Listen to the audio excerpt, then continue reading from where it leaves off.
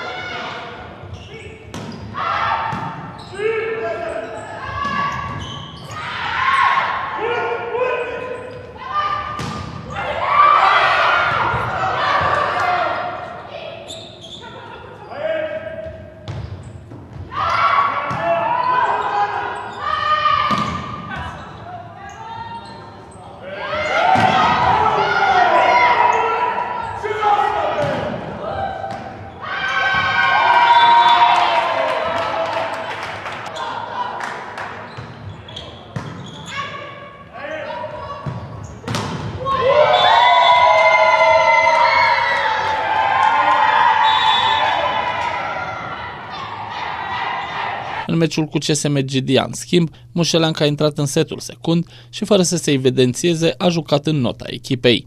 La turneul viitor, care va începe joi, Știința Bacău va juca pe teren propriu cu FC Argeș și CS Universitatea Data Cluj. Să mai spunem că la primul turneu FC Argeș Pitești a înregistrat două înfrângeri 0 la 3 cu Rapid București și 0 la 3 cu CSU Galați.